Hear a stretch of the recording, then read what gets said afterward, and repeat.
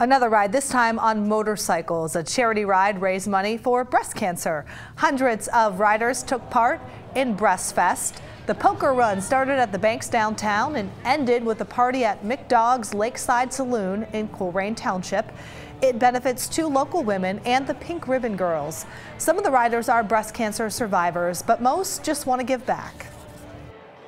We also have a lot of people that said, oh, well, my mom had it or my sister had it, or it sounds to me like 90% of the people that are in this crowd has been touched by it, and so a family member or a friend. The ride raised about $50,000. It is the 13th year for that event.